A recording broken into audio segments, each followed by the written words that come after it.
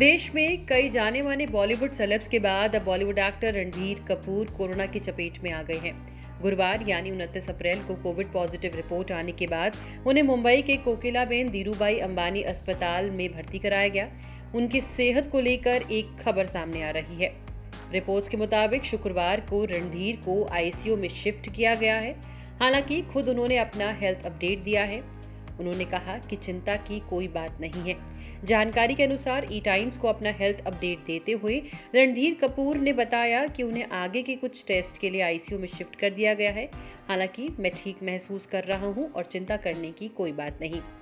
उन्होंने कहा कि वो ऑक्सीजन के स्तर में कोई कमी महसूस नहीं कर रहे हैं, लेकिन उन्हें हल्का बुखार है।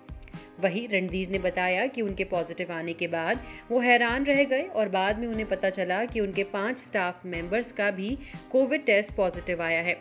शोमैन राज कपूर के सबसे बड़े बेटे रणधीर कपूर ने बताया कि वो अपने सभी स्टाफ मेंबर्स को उसी अस्पताल में भर्ती करवा कर इलाज करा रहे हैं।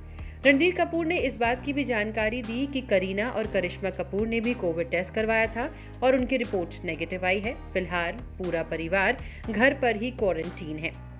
आपको बता दें 15 फरवरी उन्नीस को जन्मे रणधीर कपूर ने फ़िल्म श्री 420 में बतौर चाइल्ड आर्टिस्ट फिल्मी दुनिया में कदम रखा था।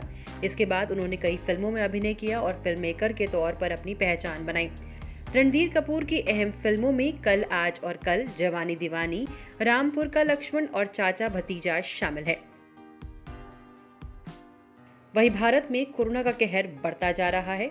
स्वास्थ्य मंत्रालय के अनुसार, पिछले 24 घंटे में देश में कोरोना के तीन लाख छियासी हज़ार चार सौ बानवे नए मामले सामने आए। वहीं इसी अवधि में तीन हज़ार चार सौ अठानवे लोगों की मौत भी हो गई। वहीं अगर महाराष्ट्र की बात करें तो इस वक्त कोरोना की चपेट से महाराष्ट्र में हाल बुरे हैं। महाराष्ट्र में गुरुवार को कोरोना वायरस संक्रमण के छियासठ नए मामले सामने आए और इस दौरान सात सौ इकहत्तर मरीजों की मौत हो गई। महाराष्ट्र में अभी तक कुल सड़सठ लोगों की मौत हुई है। मुंबई में गुरुवार को बयासी मरीजों की मौत हो गई। मुंबई में अभी तक कोरोना से तेरह हज़ार छत्तीस लोग अपनी जान गंवा चुके हैं। इस वीडियो में फ़िलहाल इतना ही।